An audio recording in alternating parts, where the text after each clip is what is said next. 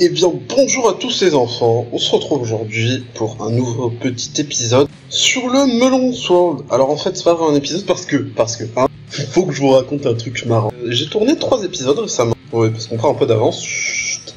Et, parce que je suis vraiment un très gros FDP, j'ai pas record le son. J'ai putain de pas record le son sur trois épisodes et je me rends compte bien sûr que 3 millions d'années après. Et bien, du coup, bah, cet épisode, ce sera un condensé des trois derniers. Donc laissez-moi vous expliquer sur quoi on va partir aujourd'hui. Donc tout d'abord, avec le bouffe, on a réuni euh, 72 têtes de Wither. Euh, Donc on en a tué à peu près 1500 à 2, on les a bien farmés dans le Nether. Ouais, parce qu'on s'est dit qu'on pouvait pas rester là avec le Nether, je veux dire, euh, on a explo, on a fait des armures un peu foireuses, mais il y a une épée très importante dans le Nether qui est...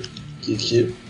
qui est ça. L'Advanced Nether Star Sword, faites pas gaffe aux enchantes, on verra ça plus tard, qui fait quand même 60 dégâts de base et qui se craft avec, euh, vous voyez, des Nether Star Blocks, etc. Du coup, avec, euh, avec le copain Lego, on s'est dit qu'on allait tuer, euh, je crois que c'est 12 Wither chacun, et se faire chacun l'Advanced Nether Star Sword, donc 60 dégâts d'attaque, pas négligeable. C'est tout de suite, c'est maintenant, oui Oui.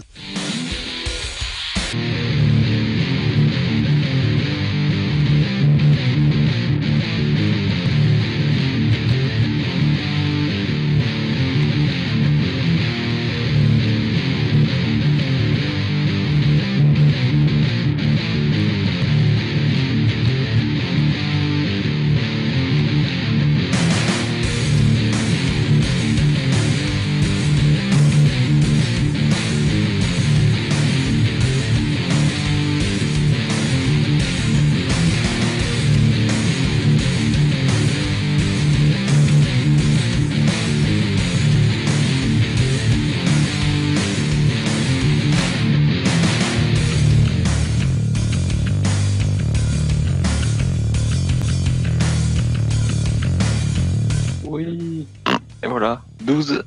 Maintenant, faut remonter.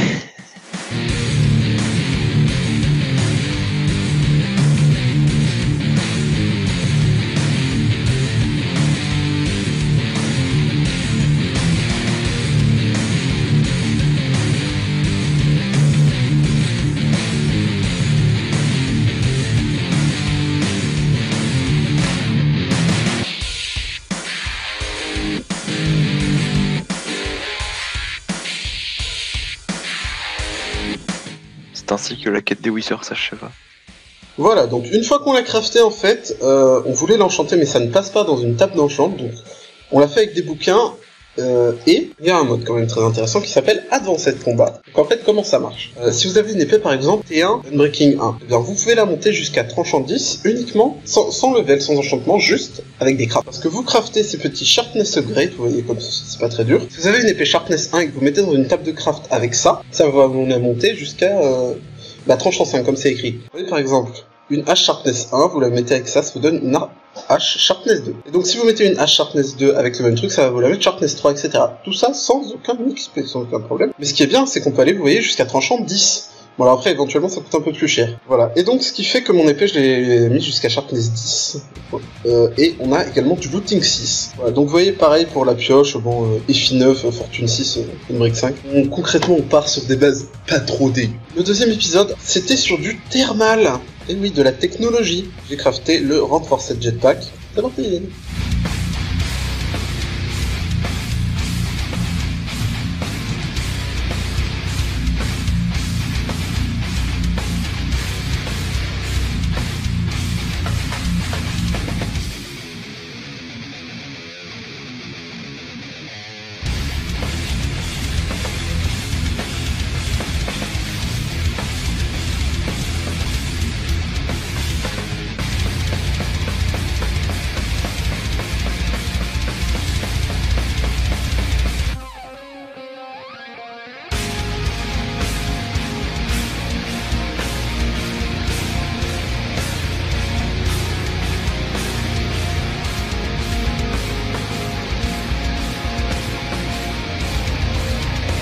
Et pour la, pour recharger ceci, il nous faut un outil, un système.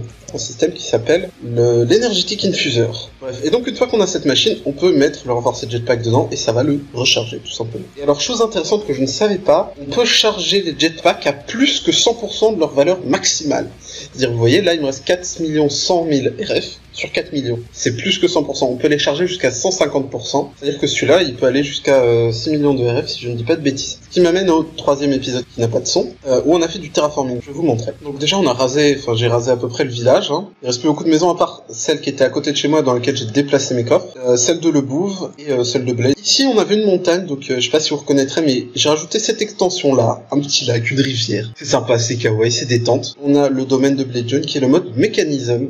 vidéo à venir un de ces quatre là-dessus. le temps que ça pousse, à mon avis, il y que ça rende pas mal stylé, voilà. Quand même, mon chef-d'œuvre, c'est ce petit passage en, dessous du sous la dirt là. Ah, et ici, on a le système pulvérizer. Ici, on met des minerais à pulvériser et ils ressortent fondus ici. Ouais, ils fondus directement. Voilà, donc euh, désolé vraiment pour le son et pour cet épisode vachement condensé. Voilà, du coup, en espérant dans tous les cas que ça vous aura plu, les amis. Et on se retrouve très prochainement dans le prochain épisode. Bisous